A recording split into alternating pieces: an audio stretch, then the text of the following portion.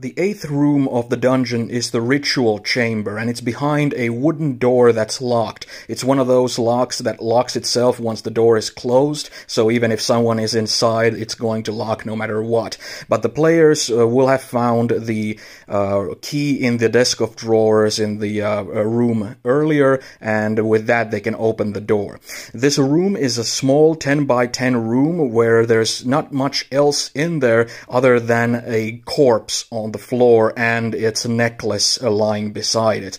If they look at the necklace, it's going to be very similar to the ones the goons had, except it's going to have more detail on it. Uh, besides the silver disc, there's going to be another silver disc embedded into it, making it look like a silver eye. And also, instead of having a string, it's going to have a silver chain. This is an arcane focus that belonged to the corpse on the floor. The corpse being a warlock or or a uh, kind of a cult leader type of character, but basically he was the brains behind this operation, and something has happened to where he and his goons have been turned into something else. And uh, that something else is soon going to become evident. The other creature in this room is an Alkilith. And now that's a demon from the uh, Mordenkainen books. And uh, we're to change him up a little bit. But it's slumbering at the moment and in the wall, uh, completely uh, camouflaged and out of sight. So only with supernatural abilities can the uh, players really locate him. But he is he is like uh, out of action right now. Uh, if the players come in and they uh, search around, if they take, especially if they take the arcane focus from the ground, the uh, body is going to reanimate. It's going to start bulging and uh, protruding and become uh, very grotesque and horrifying. It's going to become a Rutterkin, which is a demon from the Mordenkainen books as well. It's not too tough, but it's one of those demons that has an ability ability that turns all its victims that have been reduced to zero hit points into a Rutterkin themselves, so even other demons shun this creature. Uh, once the players have defeated the Rutterkin, it's going to, its body is going to burst and it's going to melt into muck and pus and goo, and it's going to start out as a new creature, which is going to be an ochre jelly from the uh, basic uh, monster manual. And that being a large creature, it's going to take up the entire room and it's going to have to squeeze around the uh, corridors when fighting the players. But that monster, again, is not going to be too hard for first level players if they're if they're savvy, uh, and if, especially if there's enough of them. But once it dies, it's just going to die a, uh, a, a, kind of miserable death of just melting and screeching in agony. But its death is going to wake the Alkilith. Now, the other way to wake the Alkilith is going to be by uh, wording out uh, or speaking out the words on the parchment paper that were inside the Book of Lore in the previous room. Uh, Alkilith of of Molor, behold my mortal flesh. That is going to wake the Alkilith up, and it's going to be a lot more passive and receptive to the player's um, uh, social interactions with it and all that sort of thing. It might have a lot of answers to them, though its purpose is not really to be a very individual um, free thinker.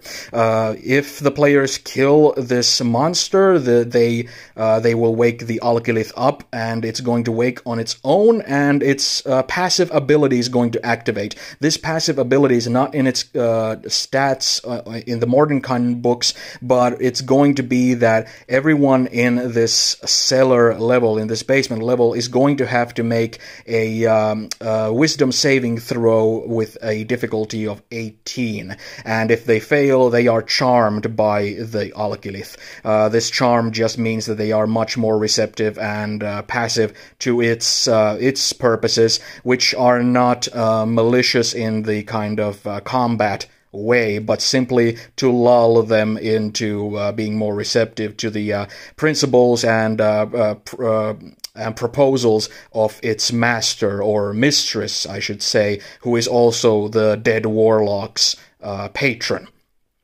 Now, the Alkilith uh, is stationed uh, in the walls, and on the walls there is written with white chalk a uh, 10 foot wide uh, archway.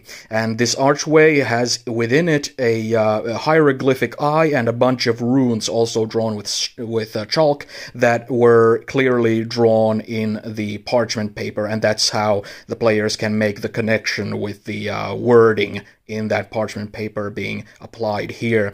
Uh, but the Alkilith, like its nature describes, can open gateways to the abyss and uh, it, it can uh, do so um, uh, in here as well. Its main purpose here is to open an archway to the abyss uh, so that the um, uh, the uh, servants can directly speak with their master, their patron, on the other side.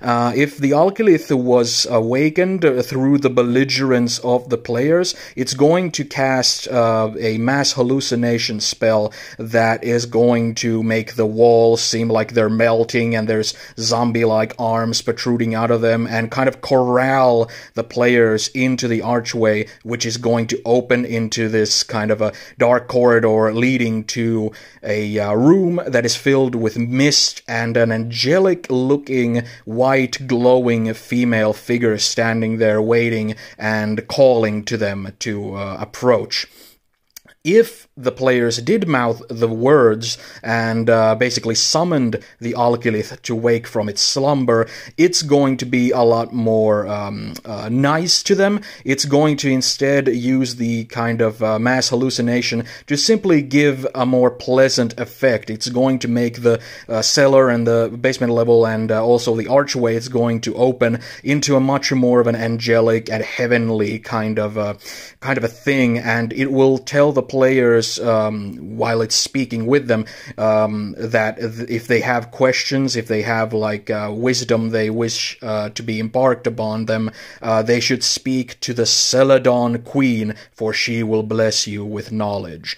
And that's the Alkilith's main uh, point here. He he is here to corral uh, servants to this um, to this uh, Celadon queen, this patron of the warlock, and uh, and also um, to um, to uh, work as a kind of a uh, a kind of a, a, line of communication between them. Uh, and uh, and it, it, once the players enter through the uh, archway, that's where we will continue on from then. The um, Alkilith itself is not planning on being uh, violent and uh, combative in the kind of traditional sense because it's a monster who's way, way too powerful for first level characters. So it's mostly a utility thing. The players can still, with great effort, run away from this place and leave it behind, but, uh, you know, D&D characters are kind of uh, cursed with that same thing that killed the cat you know? So uh, onward to the archway and onward to the abyss we go